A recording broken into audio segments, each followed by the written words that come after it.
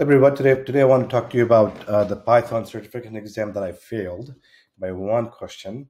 Um, I think it, starts, it stands for Python Certified Entry Level Program or something like that.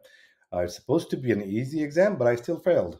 So you can take the exam from home. Uh, uh there's no proctors. It's really on your honor system. Uh, I happened to choose the newer exam, uh, PCEP-3002. Uh, maybe that's why I failed because I was practicing on KodeKloud and I was getting 80 to 80 85% on there. Uh, that particular exam, 30-01, is retiring uh, next month. So maybe that's why I failed because I was preparing for the wrong version. I'm not sure. I got a 66%, so 20 out of 30.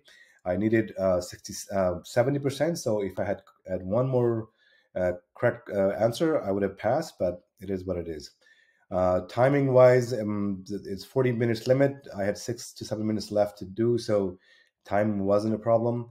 Uh, there was a lot of questions where you had to drag and drop to make one line one line code work. So they would give you little pieces.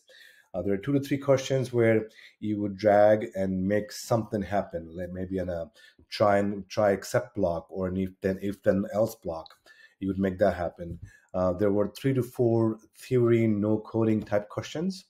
Um, there's a lot of those. Uh, what would be the output of this code kind of question? They were complex. They were not easy. Um, definitely studied tuples. There were the two or three exa- two or three questions about that.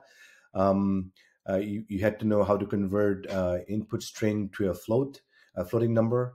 Um, which functions you you can you, you would be given several functions and which one of these could take two arguments, uh, that kind of thing.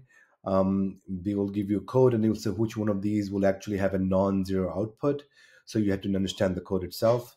Uh, definitely need to study the operator priority, you know, slash, uh, I mean, plus, minus, and divides, and double stars and whatnot, which comes first because you, you, you had to figure out what the answer would be based on that. Um, how you, you had to know how to delete from a list. And there were two questions about ranges. So anyway, um, I failed the exam by one one uh, one question. Hopefully next time I'll pass. Uh, but I still wanted you folks to have um, some idea what the question is like, the exam was like. I hope you found this video useful. If you did, please like and subscribe. That really helps me with the YouTube algorithm. And I will see you next time.